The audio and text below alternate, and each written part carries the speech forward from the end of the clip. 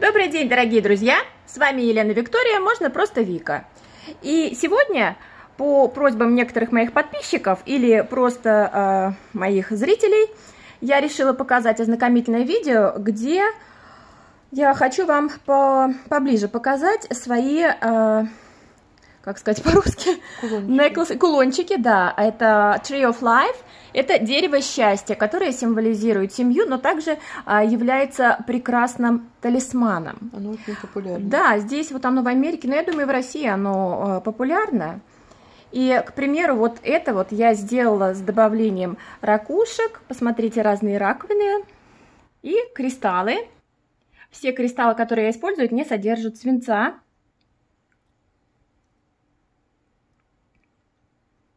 Это переливается, да? А, далее у меня будут кулоны уже а, с, именно сделанные из проволоки и камней.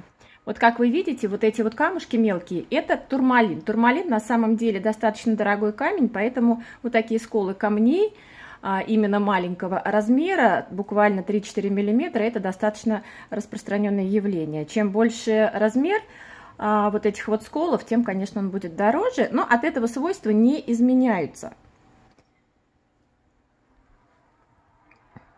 Вот это тигровый глаз. Очень я обожаю этот камень. Он действительно очень красивый. Он буквально переливается. Вот вы видите, даже вот сейчас вот идет перелив такой золотисто-желтый. Вот, я поворачиваю камушек. Это подобие а, апельсинового дерева. Я сделала его из сколов а, малахита, натурального, не крашеного, конечно же. А вот это уже бусины, это уже крашеный кварц. Но опять же, кварц также проявляет свои свойства вне зависимости от того, окрашенный он или нет. Главное, что он натуральный. А здесь это может быть уже дерево либо вишни, либо граната, кому как нравится. А, тоже малахит. А малиновые бусины это уже как раз-то и есть гранат. Опять апельсинка, но поменьше, посмотрите. Вот это у меня побольше, вот это поменьше. Тоже малахит и кварц крашеный. А вот это вот деревце, сделанное из бусин натурального хризолита. Или передота, как его еще называют. Тоже он натуральный, не крашеный. Ну, и вот это вот деревце, такое оно все пушистое. Это камень родолит, камень любви и зеленый авантюрин. Ну, вообще, а, вы можете выбирать камни в соответствии или просто с, его, с наличием его у вас. К примеру, у вас есть какой-то камушек, вы можете сделать. Либо уже по, скажем так, магическим свойствам. Ну, к примеру, вот смотрите, тигровый глаз, да, он вообще мгновенно восстанавливает нехватку энергии. Ну, то есть не такой энергии, когда у вас, например, свет отключили, да, вы взяли его в руки, так, все, давай, свет обратно включай. Нет, конечно же, это именно энергетика человека, он ее может мгновенно восстановить, и также он оберегает от ревности и от конкурентов. Поэтому, если вы в бизнесе, то смело можете носить именно вот такой вот талисман, вот такое вот дерево счастья. Турмалин. Турмалин, он вообще очень сильный вот проводник энергии, наверное, один из самых сильных. Его даже нельзя просто постоянно носить, и потому что он может нарушить энергетический баланс человека, но не пугайтесь, а, вообще вы же, вы же не будете в нем спать, правильно? То есть, а, что имеется в виду, нельзя постоянно носить, это то, что его просто носите, например, да, несколько часов, куда-то одели, пришли, сняли, вот и все. Все, все прекрасно.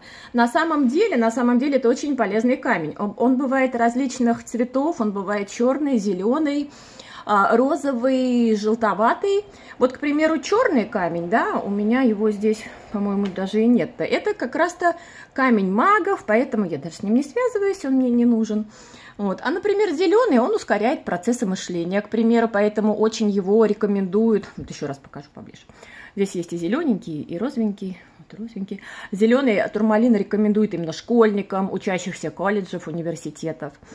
А также розовый, розовый, он а, помогает несчастным влюбленным, да, и он также помогает в творчестве и дарит вам молодость и творческие силы. Так что турмалин я очень люблю.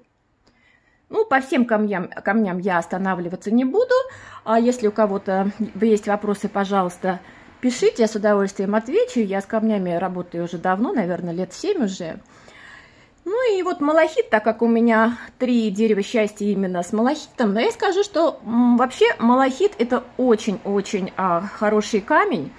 Он э, обладает очень приятной а, положительной энергией и очень положительно влияет на вашу нервную систему, на нервную систему человека.